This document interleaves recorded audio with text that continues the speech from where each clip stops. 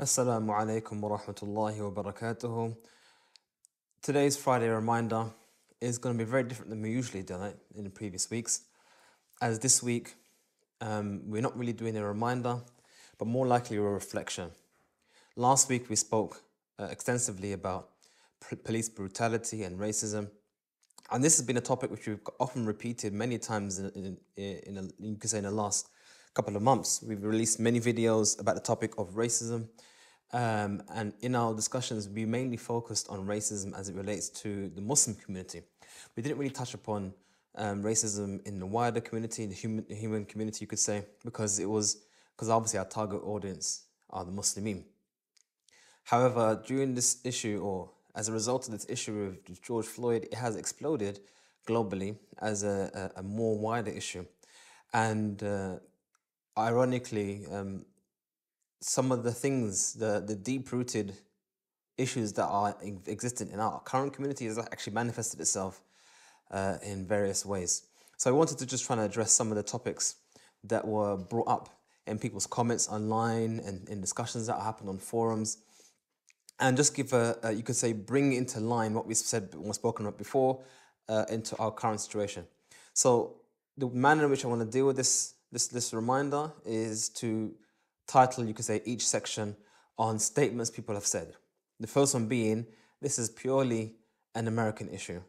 Now this one is an interesting one. Um, I have heard people say even to me directly that this issue, Black Lives Matter and what happened to George Floyd, is purely an issue which affects Americans.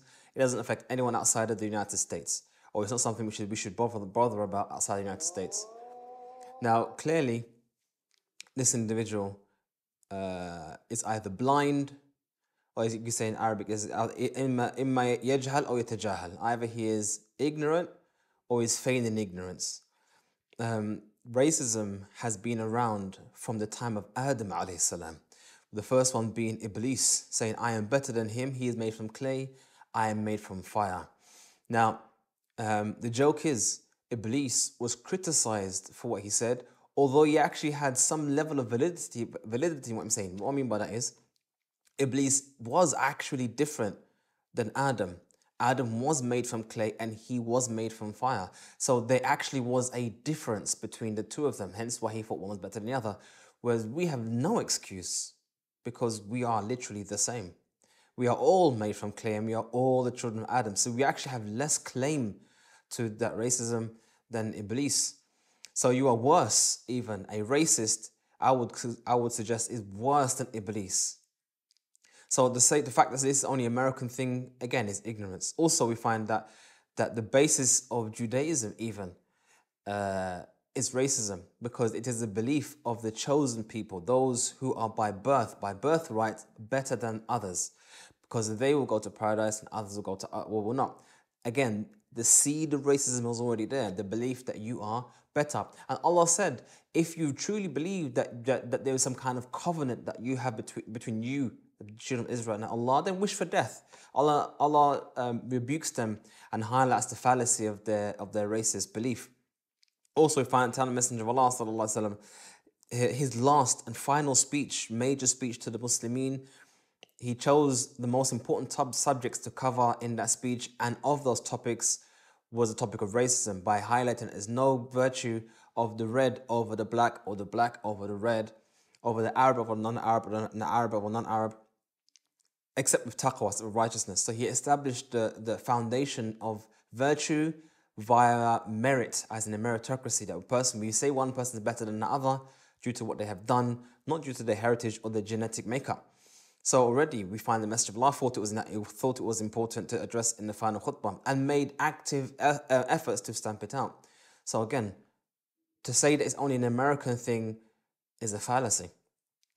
And also, um, I would suggest that anyone who, who makes such a statement um, is I, I, can, I, can, I can only think of it as being a liar or a liar and a fraud, as they want to detract from the reality that maybe in themselves they have in, innate racism. And we'll t- touch upon that, what I mean by that a bit later on. Another point that was mentioned is that this is a purely a non-Muslim issue. Muslims, we don't have these issues. This is only a non-Muslim issue.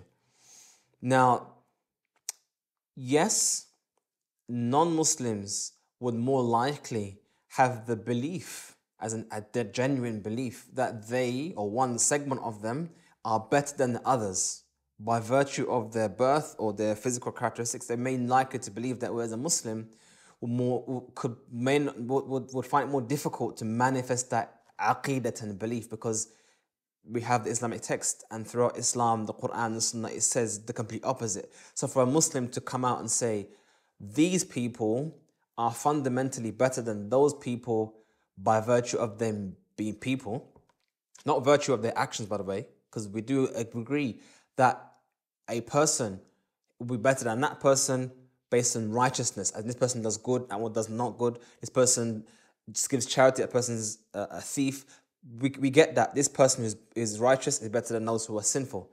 But to, you find difficult to believe or to have a Muslim who would fundamentally say that this person is better than that person and believe that Islamically. If he believes it himself, then he's been ignorant and it is what it is. What it is. But it's more difficult for a Muslim to believe so, as opposed to, for example, in a Christian church where they had religious edicts, we had religious rulings stipulating that those people are savages and you can do so. So, on that regards, yes. But again, it's a fallacy.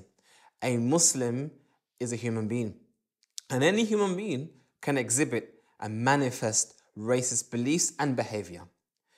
If, but the only thing is, I would say that a Muslim is worse because they actually have a religion that tells them point blank racism doesn't exist oh, I mean, racism is wrong and you shouldn't be racist. It's not a, I'm not saying it doesn't exist, doesn't exist as a valid belief system. But yet they still continue. You can almost say that a non Muslim, in a way, has an excuse. As in, that's all they know. Nonsense. They have no guidance from Allah. You have guidance, but yet you still choose to believe those things. So, in one ways, in some ways, a Muslim who is racist is worse than a non-Muslim who is racist. So to say that it's purely a non-Muslim issue, again, uh, is nonsense. Muslims are not immune from racism. Racism stems from a simple seed, a simple seed. And that seed is that it's possible or that a person can and is good or bad based on what they are, not who they are. Again, a person will be fundamentally good or bad based on what they are rather than who they are who they are, as in what their actions do, what actions do, what they believe, what they say, as opposed to what they are, as in how, what family they were born into, what passport they have, and what language they speak. This, this, this, this is, you could say, the seed of racism, and anyone can have that uh, evil seed. And again, we see the companions of the Messenger of Allah, وسلم, they had amongst them issues of racism. That the Messenger of Allah himself وسلم, and other companions fought hard to fight against and to, and to, and to uh, relinquish and to, to, to remove from the ummah. So if they had the issue back then that they fought against, then no doubt we will still have these issues today that we fight against. And the Messenger of Allah said that well, this is one of the things that will never lead this ummah. Fakhr bil ansab, showing off from your lineage, saying I am better than so and so. Um, another one, which I've seen many, many, many, many places, and I think it's very, very important to touch upon this statement all lives matter. Now, there's a statement in Islam, we, people say all the time, كلمة حق أريد بها الباطل, a statement of truth that is intended by falsehood. What I mean by that? What sta- how is this statement true? All lives matter. Of course it do. Of course all lives matter. Allah Himself said, whoever kills من قتل نفسا بغير نفس أو أو فساد في الأرض whoever kills kills a nafs whoever takes the life of a person or causes corruption فكأنما قتل الناس جميعا it's as if they've killed the whole of mankind so Allah already established in the Quran the death of any individual nafs didn't say Muslim he said nafs an individual person it is it's as if they've killed the whole of mankind so yes all lives do matter Islam came to establish and preserve life not to preserve uh, Muslim lives, but to preserve life. So, yes, all lives do matter. But that's not the intent by that statement. All lives matter. Now, this is said as a reply to the statement, Black Lives Matter. So the person who says all lives matter is either one, again, one or two things. Either they don't understand the meaning of Black Lives Matter, or they are, again, feigning ignorance. Uh, they're trying to uh, but act as if they don't know what it means, or they know what it means, and they're trying to, to in a way, diminish its message. What, is what, does it, what does it mean to say Black Lives Matter? It literally means that we live in a society whereby not every life is equal. Not every life is treated, treated the same. And at the bottom of the pile, the bottom of the barrel, are black lives or the lives of people of African descent. So the statement is actually saying, no, black lives matter as much as any other life. So to say all lives matter is is a completely ignorant statement. Of course, all lives matter. And that's the purpose of the statement Black Lives Matter, i.e., Black Lives Matter as much as any other life. So treat every life equally.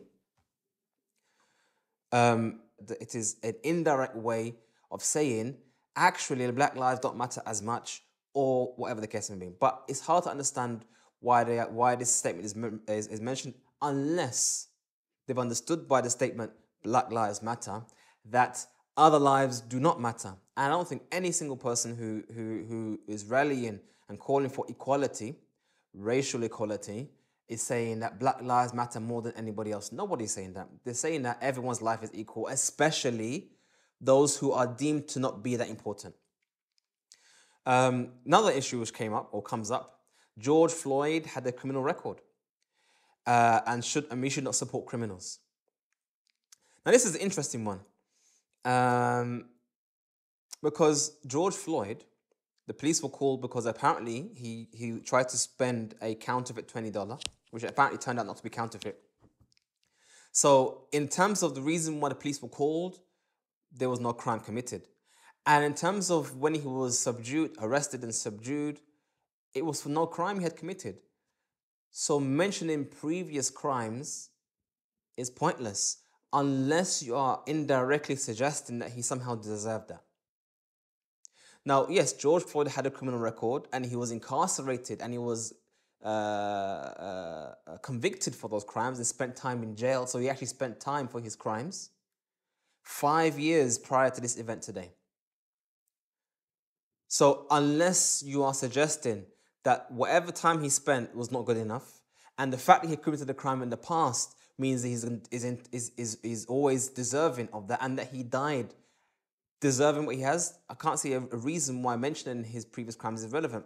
Now, I understand if a person, for example, was burglar, was in someone's house, burglar, bur- uh, stealing wealth, burglar, doing, doing a burglary and there's a and and, and the the owner of the home woke up and saw him in the house and it has a struggle and he got killed. I can understand where people say, "Well, what's he doing in his house?" I mean, he died in the cause of committing a crime. Fair enough. But here we have a case of someone who clearly was not resisting arrest, was only asking to, to, to, to be able to breathe normally, but yet he was, was refused. So again, another tactic, as you can see, there's a pattern here, another tactic to distract from the reality of the severity of this crime. And what's quite sad is that it kind of almost indicates what people are, are, are protesting for. They're protesting for equal treatment for all, everyone who is innocent. And as much as George Floyd had a criminal record, in this particular instance, he was innocent. So it's irrelevant what he did in the past. What's relevant is right now. Did he commit a crime? No. Did he deserve to die? No. So why mention his criminal record? No one is taking him to be a Nabi. No one is quoting him as saying, as a righteous person, we should follow his example. No one's mentioning any of that. They're just saying the police stood on his back, on his neck, for eight minutes until he died. This is wrong. End of argument. And we are suggest- and we are pointing out that there is inherent structural uh, discrimination within their system of America, and I'm sure it's in other systems that needs to stop. If if anyone has a problem with that message, then leave a comment in the message below and say, "Yeah, fair enough. I disagree. It's fair enough." But I don't see why anyone will do so. And we find that the Messenger of Allah, وسلم, even before Islam, rallied for the innocent. It was called Hilf al which we will come on discuss uh, in a minute. Um, another issue we mentioned, which is he was not Muslim, and we should support Muslim, not the kuffar. And this is why I want to mention that we have Hilf al-Fudul, the Messenger of Allah وسلم, came together with kuffar before they became messenger and made a pact, an agreement to help the innocent. That was an agreement from the Messenger of Allah. And when he was Nabi, he said he supported that, that, that, that act. Although before he was a prophet, he said in prophethood that he supported that very act. And we understand from this that it's permissible and encouraged for Muslims to work with the kuffar for a common good. So if we want to stamp out evil and oppression and the kuffar also want to do the same, we can come together and say, yeah, we agree that this is evil. And this is a clear example of stamping out evil. A person died for no valid reason, and we Muslims need to support the fact that this is wrong, this is injustice. There is no need to mention whether he's a Muslim or not Muslim because Islam doesn't look whether you're Muslim or not Muslim when it comes to oppression. Even Allah has said, and the, the Messenger of Allah said that there's between there's, there's no hijab between there's no barrier between Allah and the da'wah, the dua of the oppressed, even if they're not Muslim. Allah will answer the dua of a non-Muslim who makes dua against a Muslim if they are if the Muslim is oppressing them. So what, why not why not if a non-Muslim is oppressing another Muslim? So this is another um, fallacy um, that, that many Muslims fall into, unfortunately, where they think that Islam is only, that, that, that justice is only a monopoly for the Muslims. Not at all. A Muslim from their religion, if they see a kafir being oppressed in the street, is upon them to stop it. It's upon them to stop it. And it brings us to the next one. This was one of the most interesting ones. The siwak and using the siwak for my wudu is more important than black lives or black lives matter and the reading of the Quran is more important than Black Lives Matter. When I'm doing wudu and, and I rub over my sock and I put my, the water over my sock, wallahi al-adim, that's more important in my life than this man that got killed yesterday. Wallahi, billahi, tallahi, use how, the fact that the miswak is the sunnah, wallahi, the miswak is more important than all of Black Lives Matter com- combined. Mm-hmm. It doesn't affect you. Wallahi, the, the, the, the, the, the issue, the intricate issues about how to make dua and the tajweed of the Quran is 10 times more important than Black Lives Matter. 100%. Injustice and oppression is all over the world. Doesn't mean you have to stop your whole life and stop your whole Wallahi, how many, how many dates you should eat in the morning? How many timr is sunnah to eat?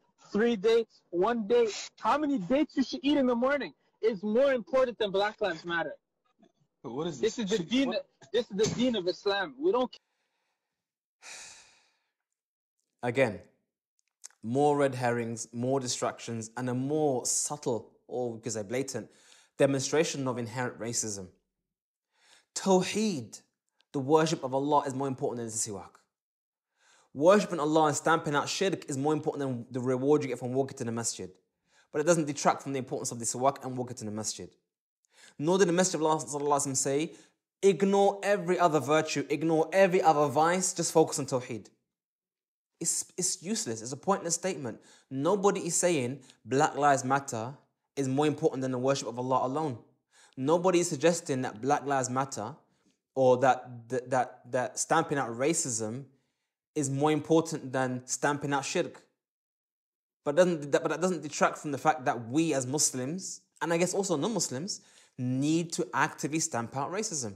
So it's a pointless statement to make. And again, it just demonstrates that the ones who say these things inherently are complacent in racist behavior. So when they'll see racism, they'll say, well, Tawheed is more important. Or they find some kind of cognitive, cognitive dissonance or some kind of excuse to justify their action or, or in this case, inaction. Which brings us to the second statement, which I've, another statement which I've heard. This is not an important issue we have more important issues to deal with, like Palestine and, and the Uyghurs in, in China.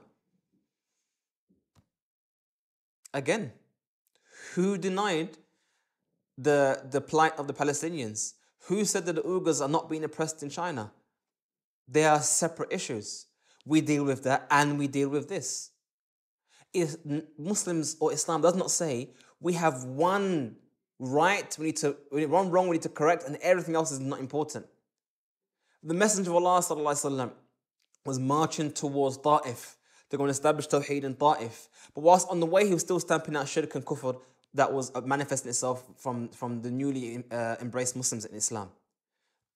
It's, you can't, it's not, it's not an issue where you have to do this or that. You can do this and you can do that. But what's actually interesting is that the plight of the Palestinians and the plight of the Uyghurs is the same seed as, as the issue we're dealing with right, right now. The Chinese are oppressing the Uyghurs because they fundamentally believe that they are less, that they have the right to oppress these people. The Jews in Palestine are oppressing the, uh, sorry, in Israel are oppressing the Palestinians for the same reason, because they believe the Palestinians are less than they are. It is the same plight. So whoever wants to separate and say, well, this is the issue, that's one issue we have to deal with, not that issue, are being plainly ignorant. And if you think that you can stamp out one, not the other, therefore what you're saying is you're actually supporting the oppression. You're effectively saying that the Palestinians are more are equal to the, to, to, to the to the Jews in or, or, or to the Jews in, in Israel, but other humans are not so equal or not as important. No.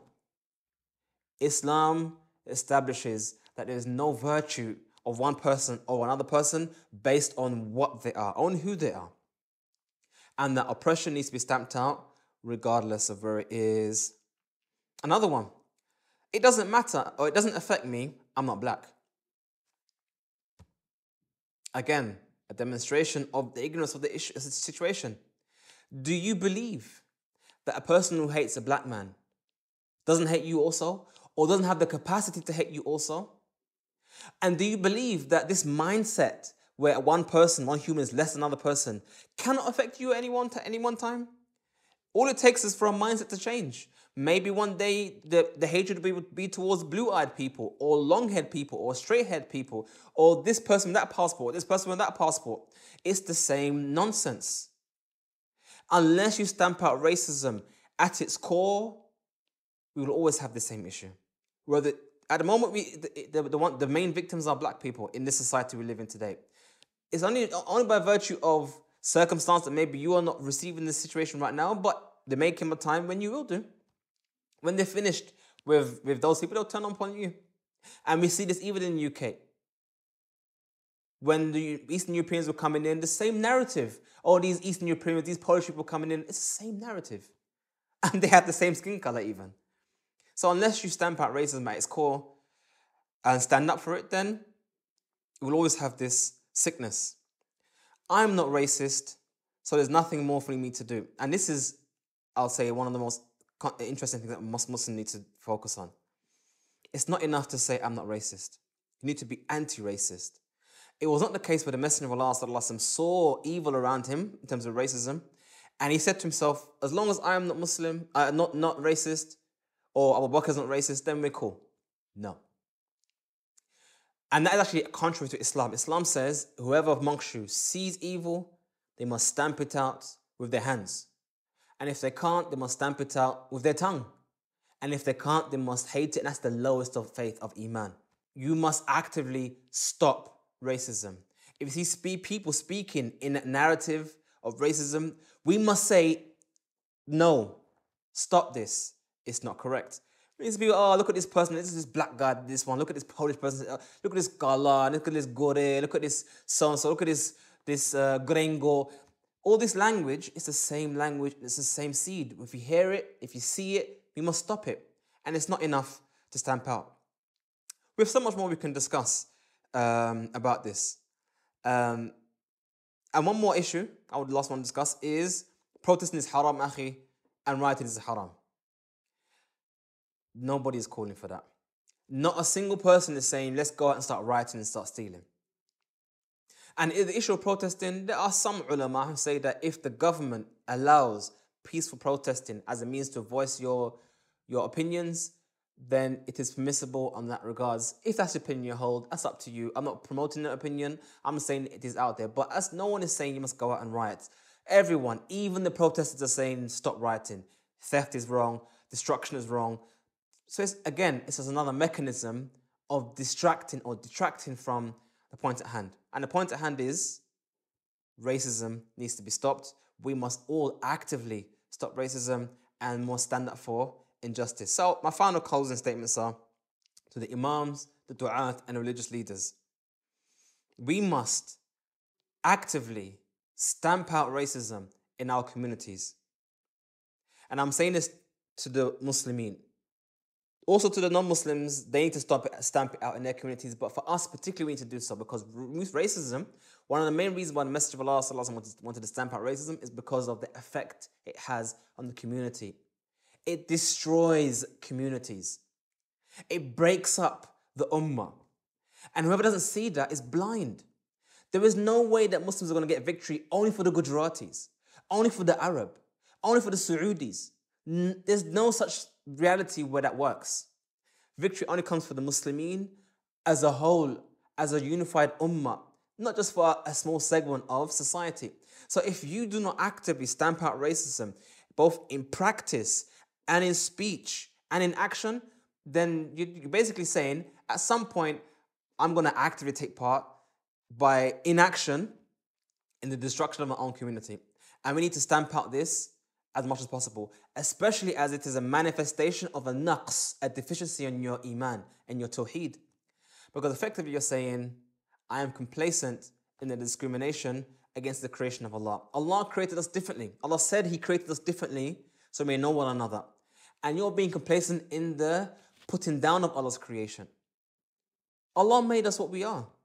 I didn't make myself. You didn't make yourself. There's, there's nothing for you to be proud of that you were born in this family or this skin color. You didn't do that. It wasn't your choice. Allah gave you how you are, and Allah made you how you are. So anyone who says that so and so are less or more due to their physical being, effectively they are criticizing and critiquing Allah's creation. And I'll end it here, inshallah. Hopefully, you guys have benefited from this reminder. You can say it's a very different reminder than before. And I really hope that Muslims can make active, active um, steps towards stamping out racism and to stop the madness. وصلى الله على نبينا محمد وعلى آله وصحبه أجمعين. السلام عليكم ورحمة الله.